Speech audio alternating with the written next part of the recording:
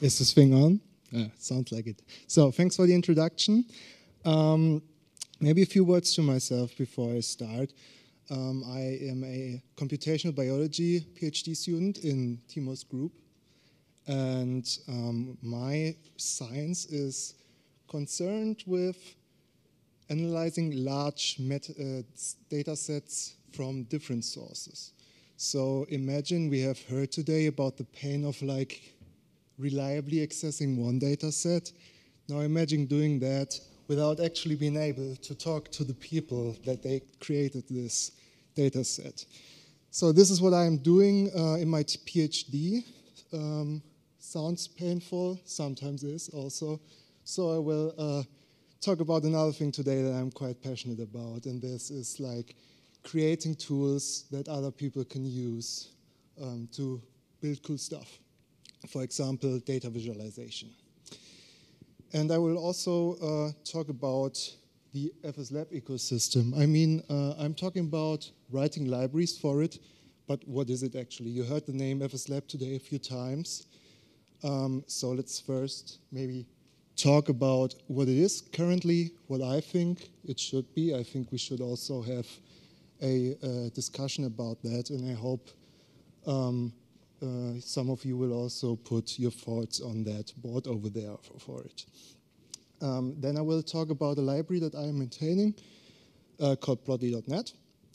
And I will also try to like derive some learnings from that library by maintaining that library um, that we can maybe use to build other libraries for this FSLab thing I will talk about. So what it currently is, FSLab, um, is we were approached as the like uh, Timo's group uh, in late 2022 to um, take this GitHub organization called FSLab and create a project incubation space for data science in F Sharp. And it was like envisioned as this center of gravity. Um, but what we, I, I, mean, I'm a computational biologist, not a physics physicist. But I think for having a center of gravity, you need some mass right there in, in the middle for other things to orbit around it. And this is what I think um, this approach was lacking so far. And um, what I think, and also other people think FSLab should be, um, is a high quality cohesive data science stack, like with a high quality core and then other projects orbiting around this. And when we have this core thing, we can like start creating a community around that, using that.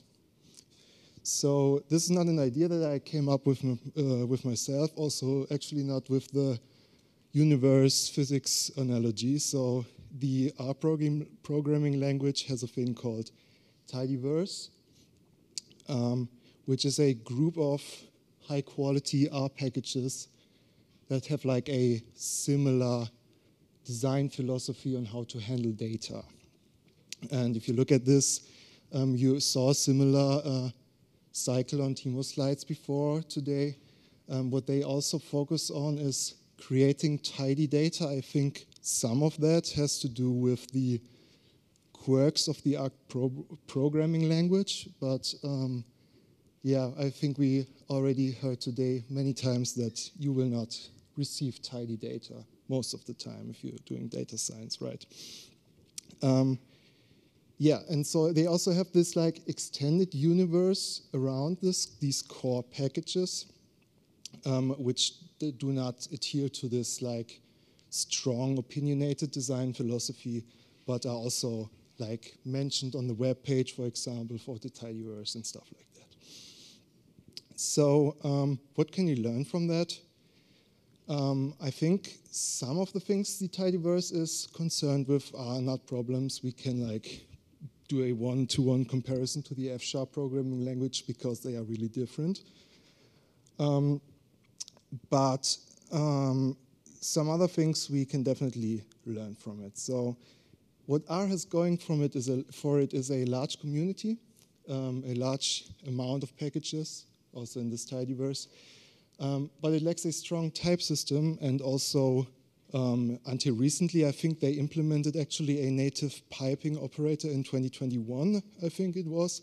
But until that, you would have to rely on the pipe operator um, in the Tidyverse or some other uh, uh, packages there. So we don't, luckily, don't have that problem in F Sharp. We have a pipe operator, right? And yeah, so I think some of the things are uh, similar. We definitely need a visualization library, also libraries for data access, definitely. Um, but there we also run in our like first problems with this direct analogy because R is not a statically typed language. So what is actually a data frame in a statically typed language? I think there's the amazing Deedle library. I also use that extensively, but I also know many people that have like general concerns with uh, this type of working with data in F Sharp. Many people actually like to make their domain model. I think we saw that today multiple times. And yeah, I think we should talk about this. How can we maybe like combine these two approaches to import and read data? And yeah, what we don't have currently also is like a common API design philosophy for like this core package. I think we are currently in the stage where we have multiple um, high quality uh, packages emerging, but not like having a um, focus on working well together. I think you saw one of those packages, I think, is for, for sure F Sharp Stats, which also uh, tackles another problem uh, of the F Sharp programming language because R, uh, at its core, is designed for working with data and doing data analysis. So it has like a high performance matrix implementation, stuff like that. We don't have that in F Sharp, at least not in the like core F Sharp um, language repository.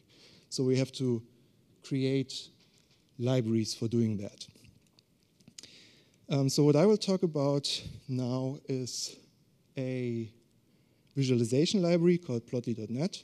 You have seen today some charts that can be created with that library. It is a um, type-safe, multi-layered abstraction library, basically built on top of a um, library called plotly.js, which is a obviously JavaScript library. Some problems uh, immediately come from that, and you will see that in a minute. And um, especially like a the high API um, layer of that is heavily inspired by, by other um, visualization libraries, for example, F-sharp, charting, and XPlot. So I said I think it is a high quality library. I think it has like uh, seen some success, but you don't just have to take my word for that. So I try to do like a small data uh, analysis to maybe uh, put that claim onto a more solid ground, right? So what I thought about is what can be like a proxy for re uh, relative success in a uh, open source community. So the, because I, I don't capture any data of the people using my library, I don't think uh, many uh, libraries can actually do that or allowed to do that. I also don't want to do that. Um, so what I came up with is um, using GitHub stars for that. So sure, there is uh, obviously a bias in there because some projects are obviously not on GitHub. But um, at least inside, if we take this whole data set, the claims should be at least consistent inside that subset of like available uh, F-sharp programming uh, tools. So I use this amazing library, FSHTTP. Uh, shout out to that one for um, yeah, thanks.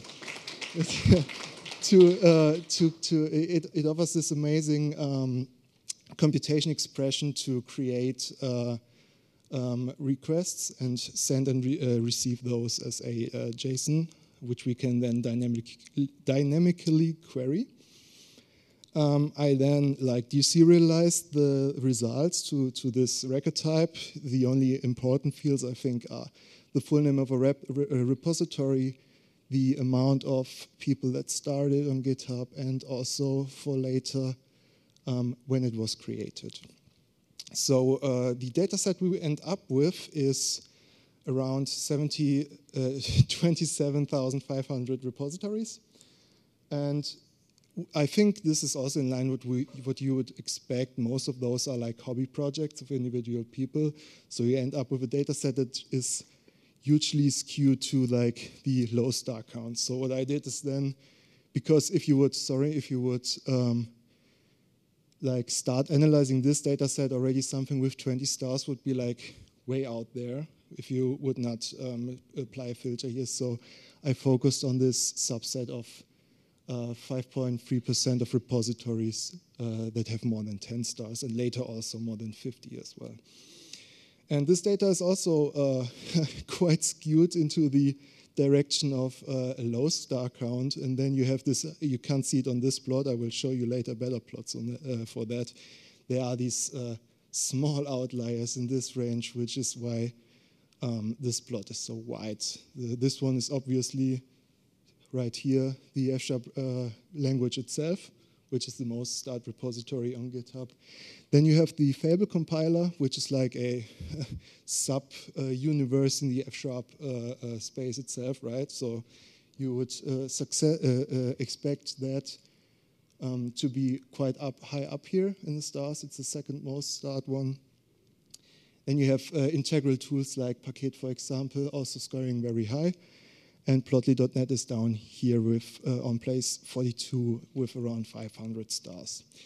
And if we look, take a look at the box plot inside here, you can already see it is slightly outside of this whisker range here, so it's uh, um, falling into the range uh, above uh, 1.5 interquartile range, so it can be reasonably assumed that it's an outlier across this data set.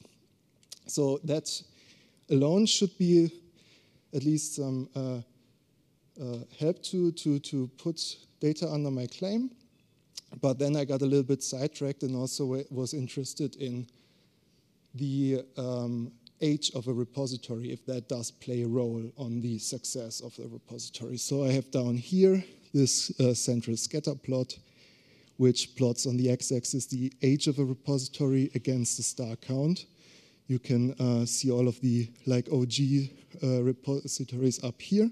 What I found very interesting are actually these two here, which are very young, but like in the top 10 repositories in, uh, regarding star count. Um, this is a uh, language server protocol implementation for Markdown. And this is a front end built in Avalonia for Vim, uh, NeoVim, I think. So uh, quite cool projects.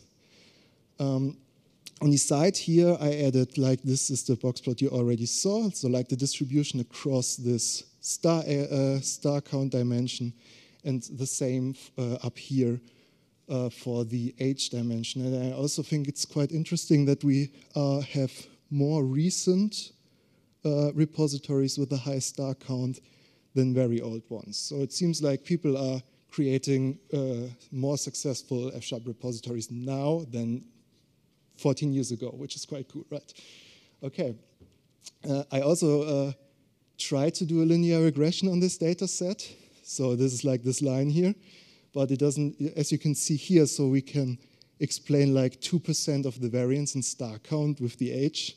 So it's really not a strong relationship, and this also makes immediately sense because you cannot expect like to put a repository on GitHub put it there for 15 years and then have 500 stars without putting something in there makes quite sense. Okay, so I got a little bit sidetracked there, but I think GitHub stars can be used as a proxy for success, and based on that, I can back up the claim that Plotly.net is a successful library. It also was a nice uh, reason to show off some charts that you can create with that library already. So what are the reasons for this type of success?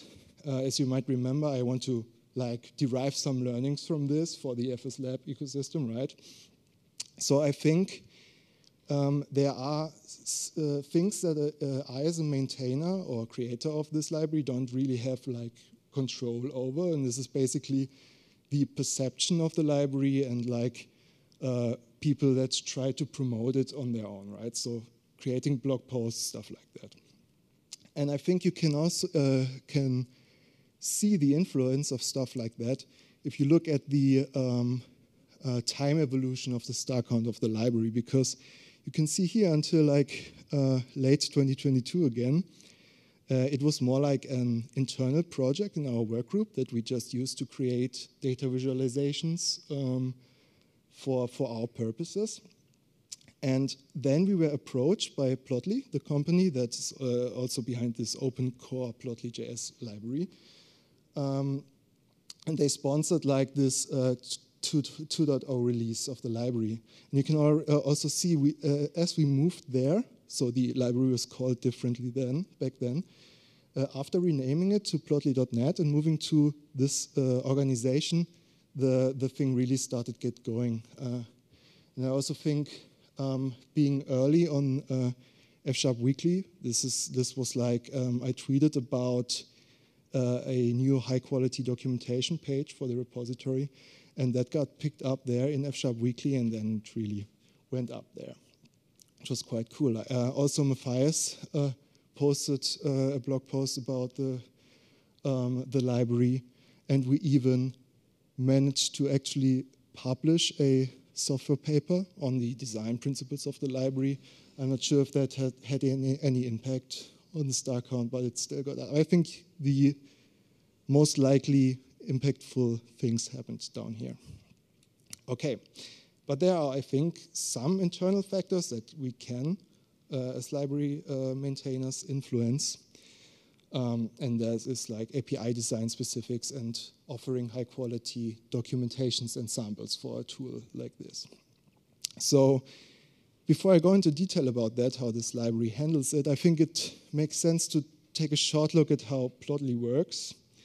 So what Plotly does, is it provides this declarative JSON schema for data visualization. So you have basically this uh, top level object which has three attributes, data, layout, and config. And data basically holds all of the stuff that you want to visualize and also how you want to visualize it. So this uh, schema here basically says I have a scatter trace, scattered uh, uh, points basically. I also uh, I only want to show the markers, and this is my data. So uh, if you then in like a JavaScript environment go there, use this plotly.newPlot uh, function, you will end up with something like this. This chart actually has like lines on my screen, but I can't see them here, so just believe me that they are there. So uh, we can see some core challenges with like wrapping a JSON schema in, in a statically typed language, right? Because the schema itself allows different and even sometimes arbitrary types for the uh, members that are on there. So it's not like that we know we have to give it a string. We can also give it uh, an object, an array, stuff like that. And as you maybe know, F Sharp is a statically typed language, so a thing like this is quite hard to do there. So, um, because also additionally to that, all of these attributes are optional. So you have this like potentially deeply nested object structure, but it can also be just this thing here. Uh, is quite hard to achieve with this like standard record type domain modeling approach, right? So the solution we came up with for, for that is creating increasingly typed abstractions on top of a dynamic core. And I think there will be some words uh, Matthew will not like. I will say the word inheritance one time, only one time, I promise, after this one. so um, the concept we came up with is that everything that you can do in Plotly.js must be possible. Um, but common tasks must be very easy and also like feel F sharpy. And we also wanted to use uh, reuse established patterns. That's why I said the high-level API is uh, heavily influenced by uh, other plotting libraries uh, in the F-sharp ecosystem. So the basic layer or, or low-level layer in this library um, is based on a thing called dynamic object. And it basically enables us to walk a little bit around the type safety of F sharp, which is well encapsulated, I promise, but uh, in this case, we, we uh, figured we have to do it. So what we can do here is we can create a custom type that inherits from this dynamic object. And this will lead this type to having uh, uh, being able to access this uh, question mark operator, which we can then assign uh, arbitrary named values with any kind of type. So internally, this is just like a dictionary that has is of type uh, string object uh, and uh, some uh, secret sauce put on top of that. Um, but everything at the low level is built on that concept. So um, how would that look like if you would create a chart? So this um, uh, Plotly.js JSON schema on the left.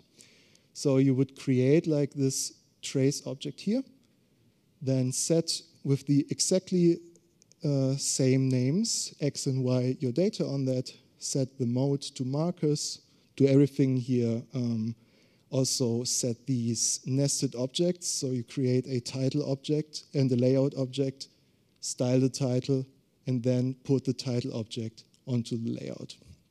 And then there is some, you can see here, these are the equivalents of, of these two objects.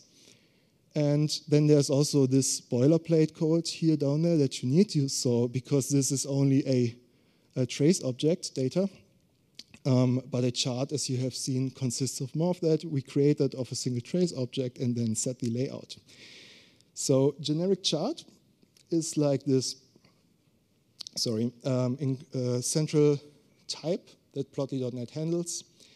Um, it's basically a union case representation because uh, for plot, Plotly, something um, that has multiple traces is different from a chart that has a single trace because while you can have multiple, sorry, traces, you can only have one layout type on that. So that has like some implications because you have to like combine these objects, the styling on that those objects.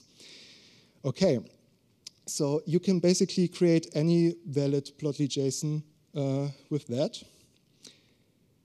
But you also have to, as I, uh, Thomas put it uh, in his talk, be like the creator of the plotly JS JSON schema to use it efficiently. You will have to know all of these names here.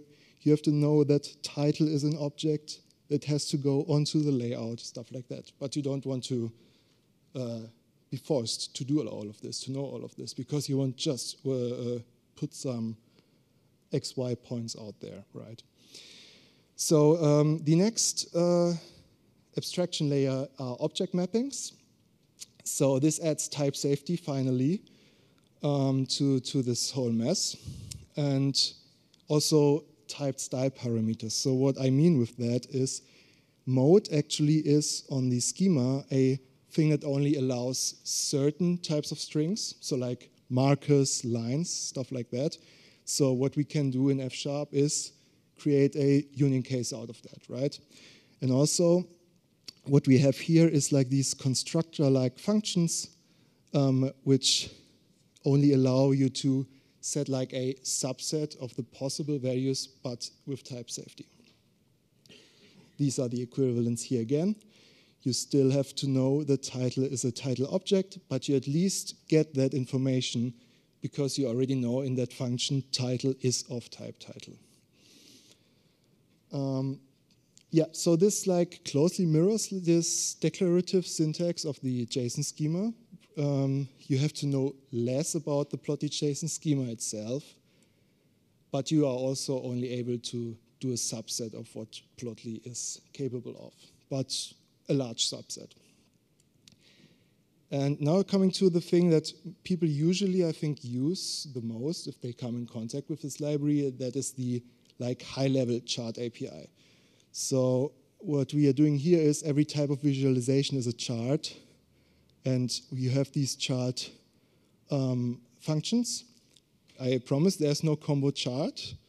Uh, combining charts is a, a function itself as well. So the whole thing that I've showed you before in that API is just this here. I want to create a point chart. This is my data. Oh, and also add a title on top of that. This, which creates also this JSON again. And you, for this, you don't even have to know that Plotly itself doesn't know what a point chart is. It only knows scatter traces and a point chart is a scatter trace showing only markers. You don't have to know that. You just put there, do a point chart, and give it a title. You don't have to know the title as an object as well. So what you can then do is like have this incremental pipeline for styling or composing your chart, right? So you can put a title on there after you created it from data. You can then put an x-axis title there as well and go like really deep down. Uh, you don't have to know anything about Plotly.js actually, you just have to use this API layer to create visualizations. And this API layer can also be like adapted to support other chart backends. And how does this work internally?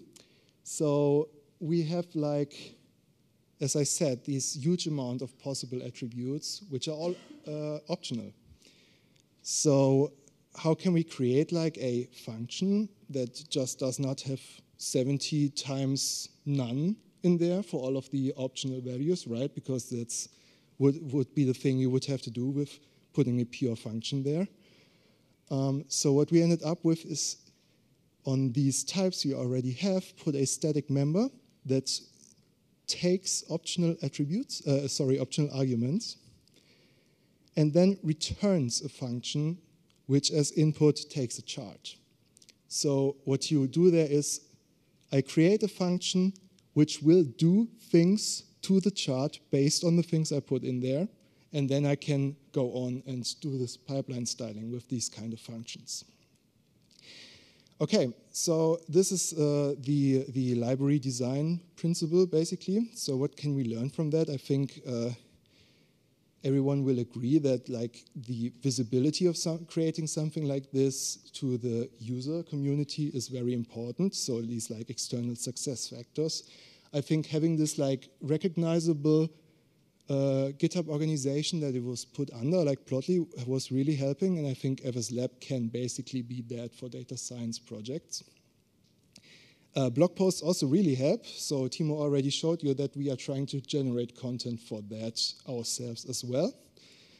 And uh, now that Twitter is not Twitter anymore, I cannot query the API. Uh, but I think if I would overlay the uh, star chart with the times where I actually tweeted about the project, I think you could see there's like a correlation between those tweets and like increase in star count. So obviously this visibility um, was there for those. Um, also, I think we should be quite pragmatic about API choices. I mean, you saw some really non-F Sharpy stuff right here. Sorry for that. But you, if, as long as you hide that and offer a high quality um, API on top of that, um, where it makes sense, uh, I think this is the right approach for something like this yeah, and obviously making this high uh, level API layer is very important. Also, I didn't, uh, don't have time to go into detail about this topic, um, but I think documentation is really important, especially if you create tools that, other, that you expect other people to use for building stuff. And the way I approach this is focusing on the API reference, so like creating these XML documentations, so you can uh, use tools for that uh, um, create nice websites based on that, and then afterwards add uh, step-by-step -step examples. Uh, last remarks from my side. I think we uh, should not dismiss uh, C-sharp co compatibility. Um, I actually implemented a C-sharp layer for plotly.net because there are some quirks between uh, using optional parameters in these uh, F-sharp and C-sharp languages. But I think after I did that, uh, my user base basically exploded. So I also uh, got messages from companies that wanted to sponsor development of that layer. And so it seems like um, it's something that is also needed in that uh, ecosystem, right? Um, and also, last side note, I think we need more people that are willing and able to review F-sharp software papers because we were like three or five, uh, four months in the review process until they actually found someone to review that paper that they accepted, um, which then was a Java developer. So I guess we should like maybe form like a pool of willing individuals uh, that can do this. So, okay, with that, thanks for your attention. And I hope you uh, will put your questions, if you have any, on the board. Thank you.